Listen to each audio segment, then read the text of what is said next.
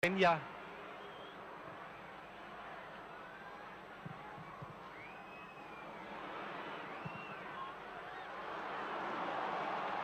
geschossen hat jetzt, aber Valcareggi wird schon seine Gründe gehabt haben.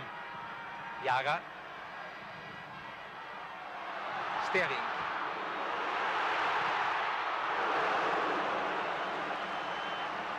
Krankels erster Schuss. Freistoß aus einer sehr gefährlichen Instanz, Distanz, nämlich aus einer Distanz, die für die Italiener sehr gefährlich ist.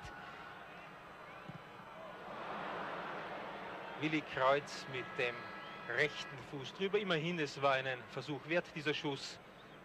20 Minuten sind im Wiener Stadion gespielt, 0 zu 0.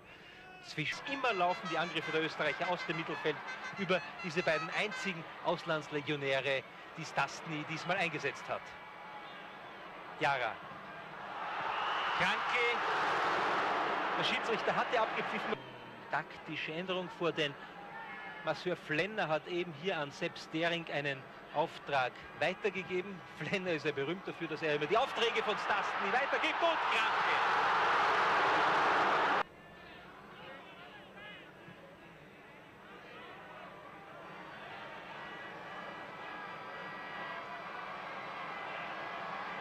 Jara Kranke und den Ball wieder am rechten Fuß. Er muss ihn erst auf den linken legen. Und am ähm, langen Eck vorbei immerhin sehen wir uns diese Szene noch einmal an, dass ihre Abwehr nach wie vor steht. Die Überlegungen der Italiener gehen nicht davon aus, dass Tore geschossen werden sollen, sondern dass man Tore verhindert. Aber das ist ja eine alte Leier, das kennen wir ja schon längst.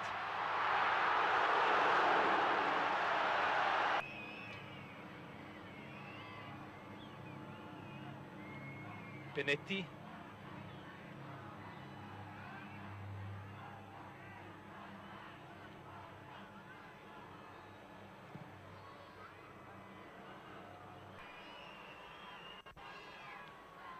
Und wenn eine Mannschaft wie die italienische seit mehr als zwei Jahren nicht verloren hat, dann hat sie eben die Selbstsicherheit, dann lässt sie sich auch von den Österreichern kaum überrumpeln.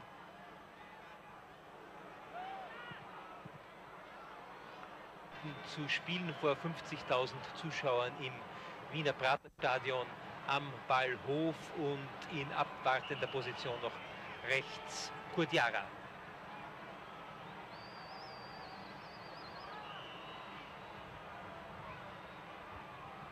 Und jetzt müsste schießen. Warum haben wir noch nicht früher geschossen? Corner